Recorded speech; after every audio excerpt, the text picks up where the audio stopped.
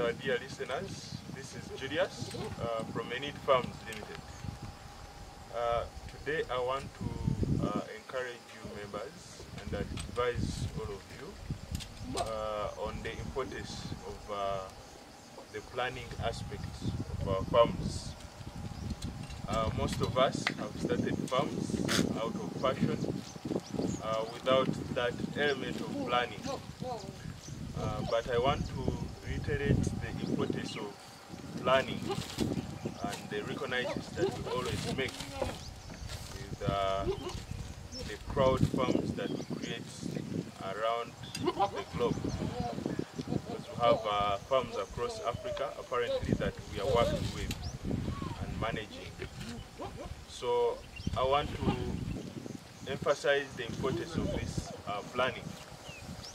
Yeah, because uh, once you plan your farm, uh, you will know what infrastructure you need, for instance, that fits in the resources you have, or that fits in the vision that you have. Planning is in two ways. You can plan according to the resources you have, but you can also plan according to the vision uh, of the farm and what you envisage uh, to get.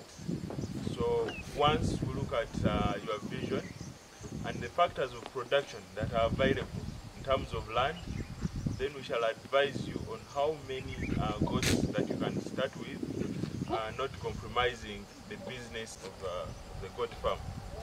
So uh, once we look at all these factors of production, the land, uh, access to water, if you do not have water, then we want to know can we uh, do rainwater harvesting, can we do an underground well, and at the end of the day, also look at other uh, aspects in terms of value addition.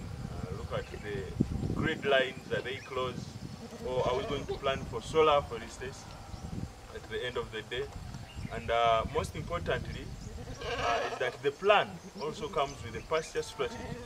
Pastures are a very big component of any farm. You don't want to stock animals before you set up uh, the necessary pastures that are required for the farm to grow, but also to have uh, a substantive uh, weight gains that are required because uh, the pasture strategy uh, contains different pastures with different nutrients that at the end of the day uh, tantamount to the growth rates of uh, your animals.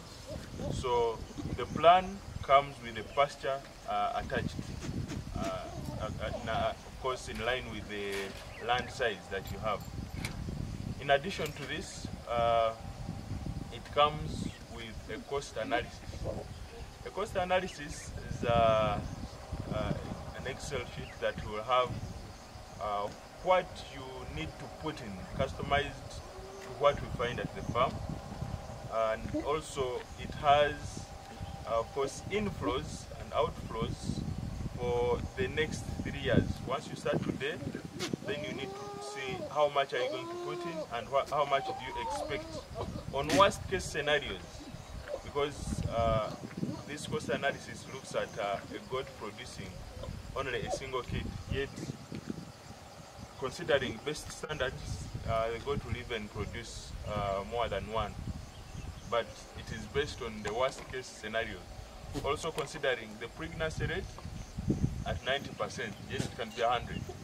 And the mortality uh, of uh, animals to be at 10% because these animals are not immortal.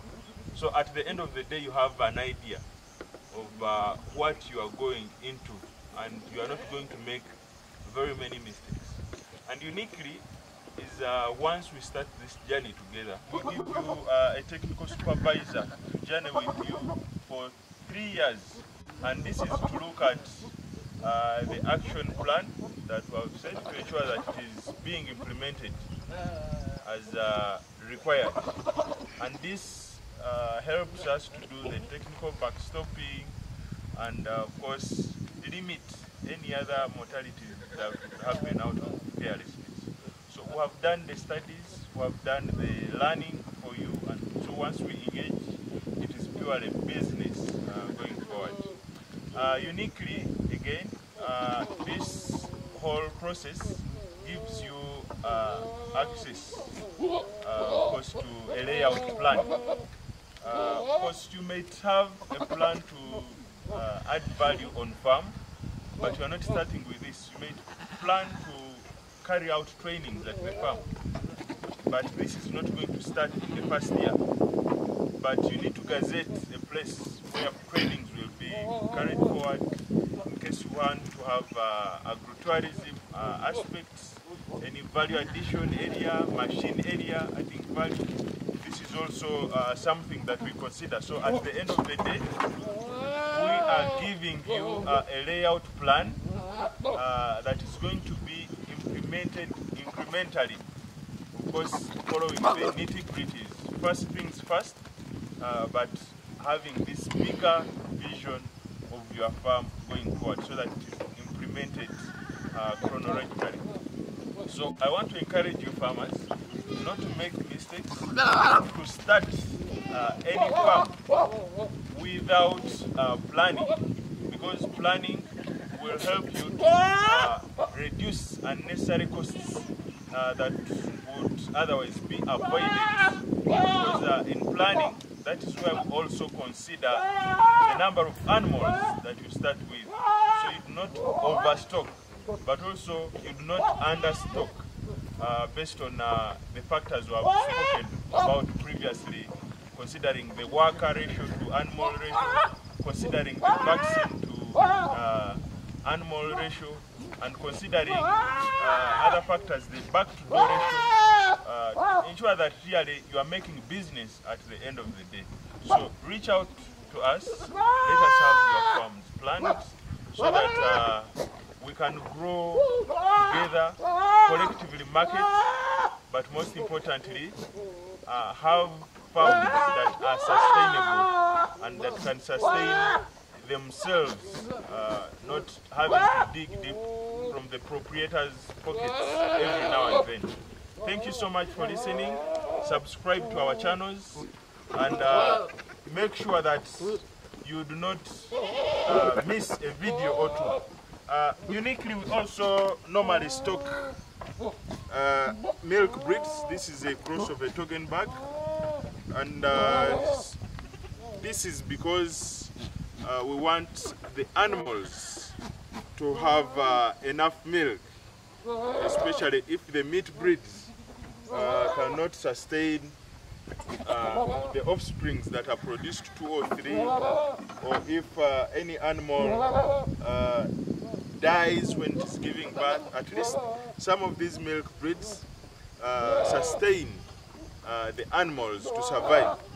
They are always thin because their, uh, their, their, energy goes into milk production, so they will not grow uh, fat like you see the meat breeds. So they are purposely uh, breeded for, uh, for milk. So I encourage you farmers to reach out to us so that we draw for you strategic plans that will last for generations. Thank you so much for listening to me, Julius again, Menigte Farms.